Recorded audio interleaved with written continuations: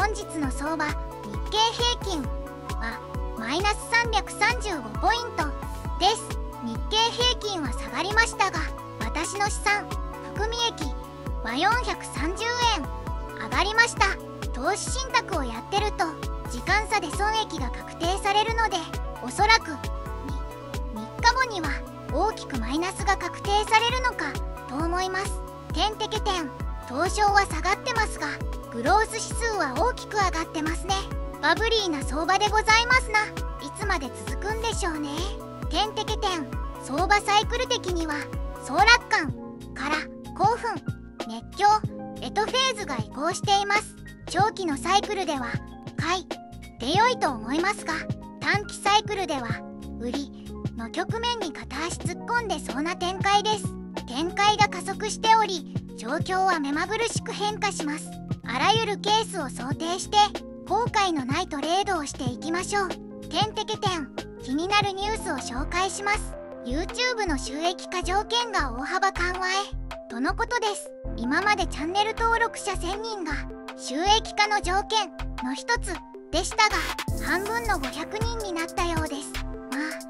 1000人は確かにハードルが高かったですからね。500人くらいで良いと思います。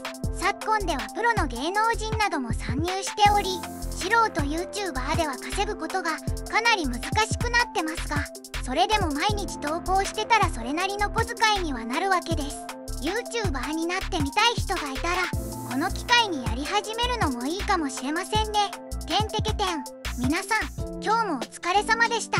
投資カリバティです。投資は自己判断。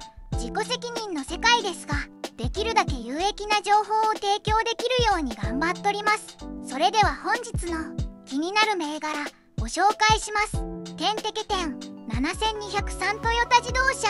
新技術をいくつか発表しているようです。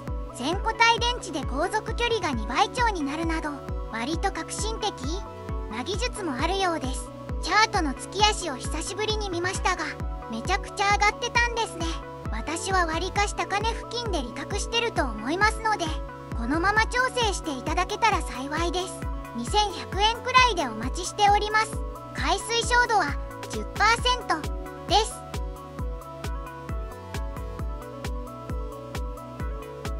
5032円にから先日こういう値動きが皆さんお好きなんでしょうな。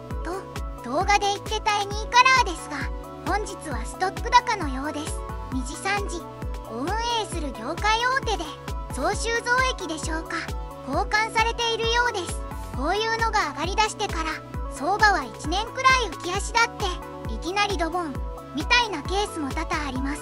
あらゆるケースを想定して後悔のないトレードをしていきましょう。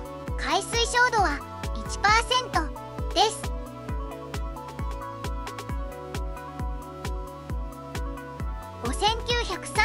大谷工業こちらもネタ枠だと思っていましたが本日ストック高です。業績は改善傾向でもあるようですがそれほど目につくような材料もないような気がします。またメジャーリーガーが活躍でもしたんでしょうか？理解不能な銘柄です。海水照度は1%です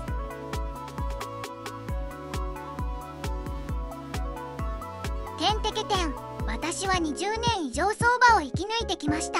誰が何と言おうが投資はめちゃくちゃ簡単なゲームです。稼げそうな銘柄など紹介したりしてるので応援がてらチャンネル登録してもらえたら嬉しいです。あと投資情報のニーズがよく分かってないので知りたいこと質問要望があればコメントしてください。こうしたらこのチャンネルは良くなる。などのご提案もあったら教えてください。てんてけてん最後までご視聴いただきありがとうございました。相場は自己責任で命を張りましょう。それでは皆さんまた見てね。